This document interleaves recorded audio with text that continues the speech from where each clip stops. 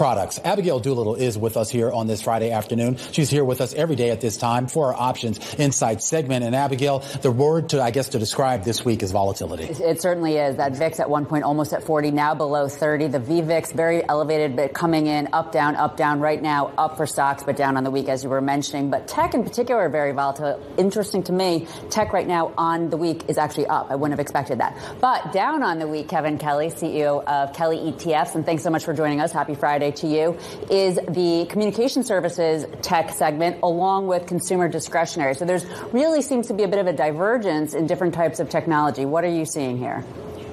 Yeah, what was most pronounced today was was that the XLK, which is the tech sector of Microsoft and Apple, crossed its 200-day moving average, and you're seeing about 1.6 times the amount of calls versus puts. Conversely, if you look over to the XLC, that's your Google and that's your uh, that's your Meta, Facebook. It's seeing eight over eight and a half times the amount of puts being traded versus calls. So not all tech is be, being created equal. You're seeing actually Google is trading below its 200 day moving average. So there could be some uncertainty around their earnings or just in general, just tech he- hedging. So if you're willing to put new money to work, uh, and they're doing in the option space, they're doing it via the tech sector, the, the, the names that have already reported and had great earnings. Visa is another name in the XLK that has done exceptionally well. I mean, it's, it's trading above its moving, moving averages now. So the next name to report in the XLK is Nvidia on the 16th. It's trading around its 200 day moving average. So so that's where investors are putting their bets in tech land. Yeah, chips really getting hit. So maybe there's the possibility that there could be some upside to the surprise. And we were just looking at a year to date uh, board, uh,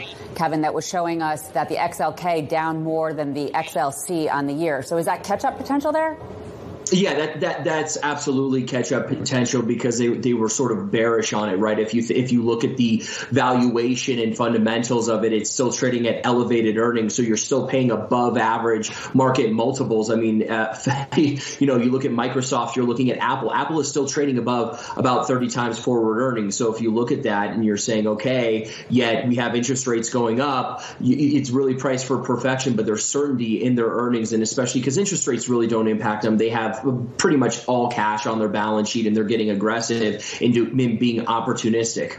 And then very quickly, Kevin, you of course were the person to first uh, talk to me about the VVIX or that VIX of the VIX, that intraday volatility. But we also have the VIXN right now, that NASDAQ 100 tech uh, VIX, and it is at 34, so a little bit more elevated. Do you expect that to come in based on what you're saying about some of these high quality tech names uh, perhaps being bought up?